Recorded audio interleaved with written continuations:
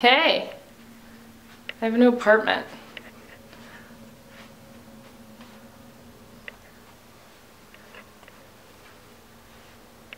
I'm not like gonna do a legit apartment tour or anything.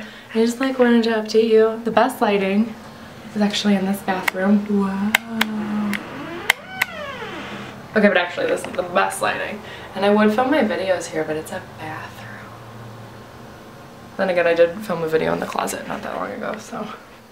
I got an apartment and it's rad and I've just been kind of waiting for this to happen because I've been here for a month and a half now and it took ages to finally get the apartment portion out of the way. Um, and now I feel like I can start my life, if that makes sense. Um, I'm gonna start handing in resumes. Uh, I, I still want to be a dance teacher here because I really enjoy that um, and I miss it a bunch. So hopefully that works out. That's my first goal. It's weird. I like don't feel like I live here at all.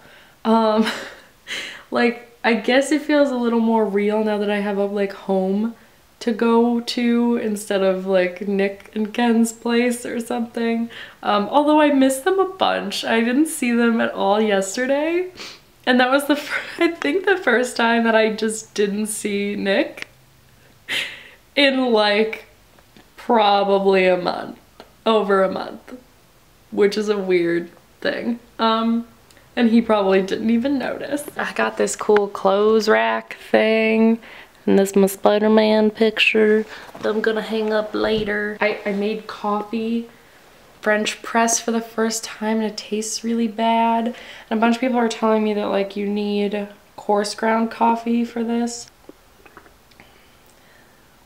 Okay, now I'm just babbling. So I'm gonna go. Love you guys and I will talk to you soon. Bye.